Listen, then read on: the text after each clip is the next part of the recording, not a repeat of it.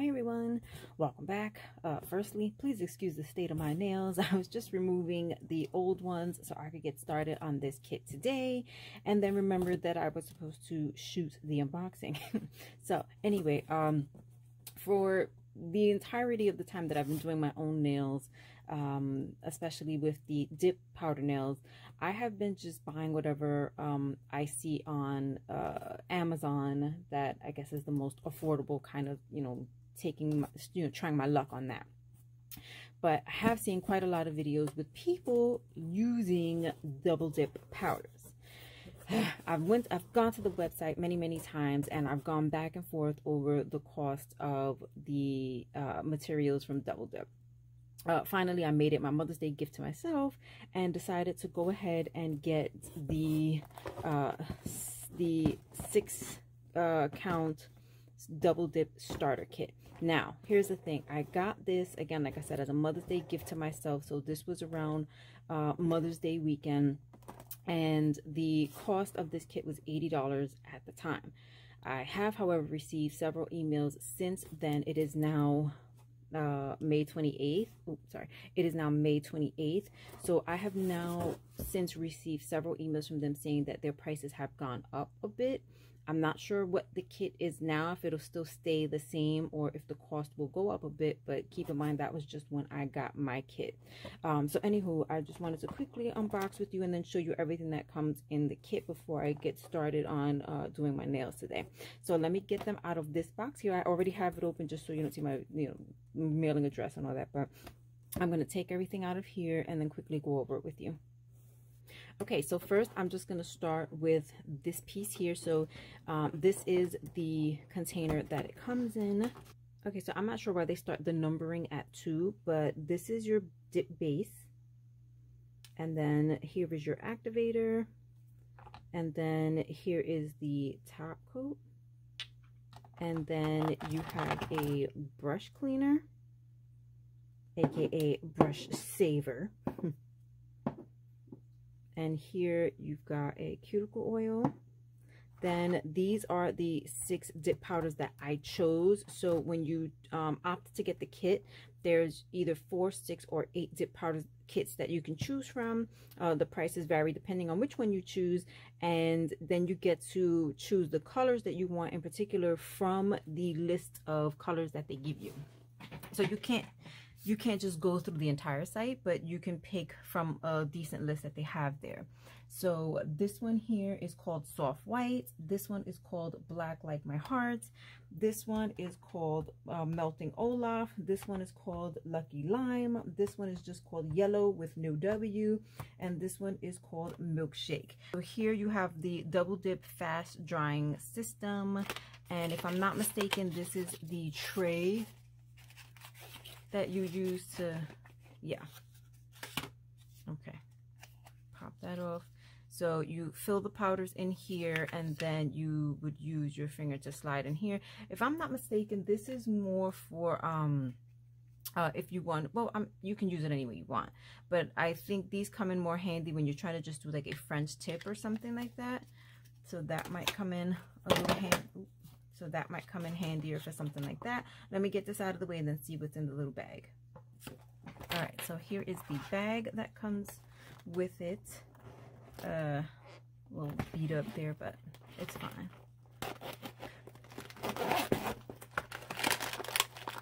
All right, so uh, all right, so you've got some soak off clips here. And then I guess the usual 100, 180 grit file. Although this feels super coarse on both sides. So this may be the more coarse file. Nope, they all feel super coarse. Okay. and then you get a cuticle pusher. Okay. And then you just get a brush here to, you know, dust off the powders after you dipped. Dust off any excess. Okay. We're losing some hairs, but okay. Uh, and then I guess that...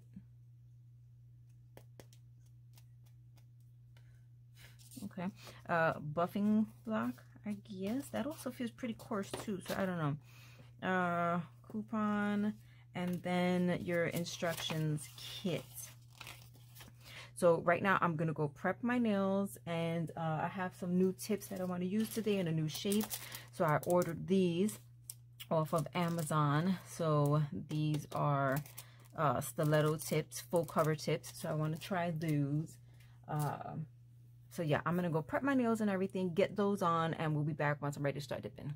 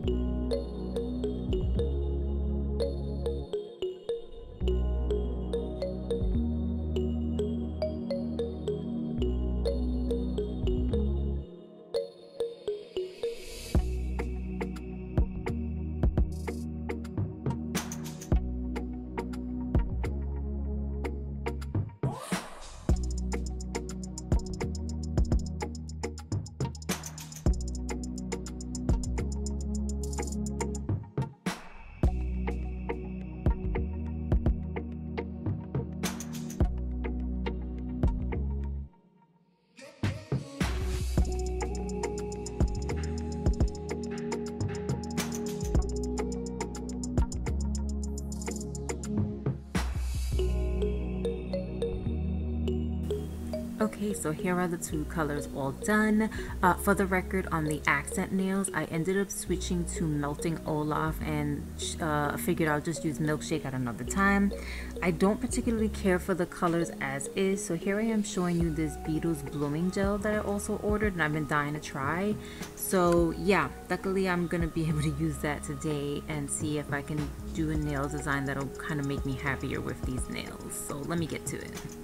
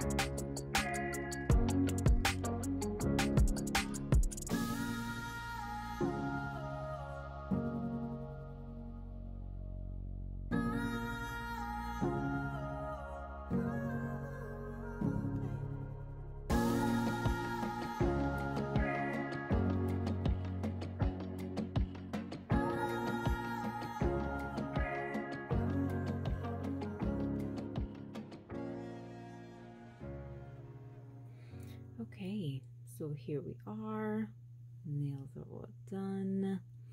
Um, I was not too happy with the color by itself. I'm glad I decided to uh, try out this design for the first time. It ended up kind of saving it for me. Okay, uh, overall, I'm a little bit disappointed with this because of the lack of quality control. So I can't even reclose the glue here because that's essentially what the base is. It's just brush on glue. But I can't even close it here because the cap just gets stuck with all the gunked up glue on it. I don't know if this was used or partially used and then someone just decided to return it and that's what I ended up getting. Um, there was a brush inside the uh, brush cleaner but then uh, as you saw in video when I tried to dip it back into the base it just completely stiffened up and I couldn't use it. So thankfully uh, I actually got saved by an old kiss brush that I had which I have it in here now. Hopefully trying to clean that up um the activatives activator that worked fine. The cuticle oil not bad. It has a very light pleasant scent to it. Um so that's not bad at all. I didn't use the top because i was going to be doing the design with the blooming gel. Um i just needed a regular uh, top coat so I could easily wipe off any mistakes or anything. Um, at the last minute, I ended up deciding to switch to melting Olaf because I thought that would work better with these colors rather versus milkshake.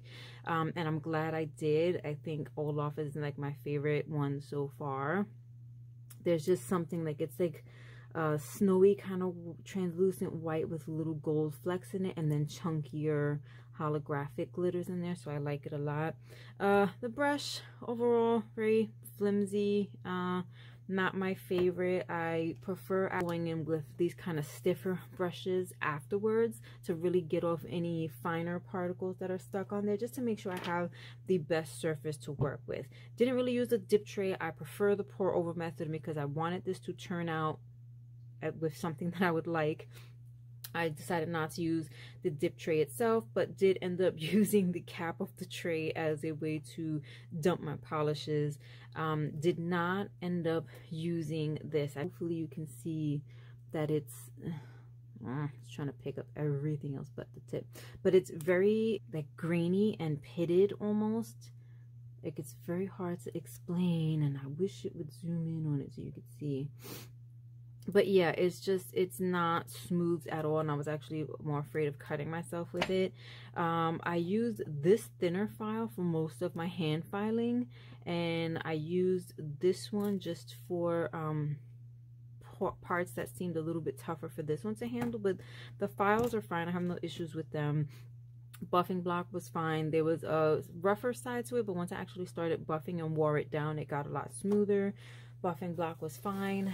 Um if this were a cheaper kit, I don't think I would have any disappointment at all because it's like, okay, fine, the dip base got a little ganky there or whatever, so I would probably just let it go, but for the price point, it was $80 for the kit, and I don't think that that's okay. I don't think a lack of quality control to that level is okay. Like, this is not some 10 12 $15 kit. This is an $80 kit. There should be better quality control on this. So that part really irritated me. And uh, if I were someone who didn't have a different method of doing this and had to solely rely on what came in the kit, that would have ruined it for me. I would not have been able to do my nails at all. So I'm not okay with that. Um, the powders themselves are gorgeous. I wish the green and the yellow were more vibrant. They seemed more vibrant in the photos online, but again being able to do the design with them uh, ended up working out anyway so i'm okay with that. I'm excited to try soft white black like my heart and milkshake. Um, but for now these are the three colors that were just kind of standing out to me and these were the two that once i ordered them i couldn't wait for them to get here and try. So overall i do like the dip powders at least um, and yeah just like i said disappointed with the quality control um, otherwise, would I recommend them? Um, I'd say yes. Just keep in mind that that's a potential for something that could happen, and you'll either have to be ready with a backup or willing to send the items back to have them replaced. Um, and hopefully that is something they'll do since I opted not to go that route. I'm not sure how the customer service on something like that would be. But um, yeah, overall, the rest of the products worked out fine. So I'm not disappointed with that. Uh, I feel like this and this and this are kind of just extra little gimmicky things to have something to fill the kit. So not really necessary, no real value there. This is like, you know, a dollar store thing. This couldn't even use because there was no quality control on that either. That's very rough and, and uh, ragged there. So up to you again if you have backups for those things then not an issue if you don't then it might be an issue so quality versus what you're getting uh, but i i, I so rough. I would say definitely as far as ordering the powders, um, I would probably do that again if they have colors that I don't feel like I can find anywhere else. But as far as the rest of the liquids and everything else, I feel like you can probably just get away with getting your own trusted liquids um, elsewhere and do without spending the 80 on the whole kit. Yes, that's what I will say. If, if you just like the powders, the powders are, are great. They're fantastic. Um, if you can do without the entire kit and you can get the other items you're on your own or already have them, then skip on that and just go for the powders is what I would say. All right, so hopefully that answered all your questions. If you have any questions that I did not get to, please feel free to leave them down below. I'll be more than happy to answer them for you. If you haven't already, please comment, rate, subscribe, and hit that notification bell. You'll have an amazing rest of the weekend wherever you are. I'll see you in my next video. Bye.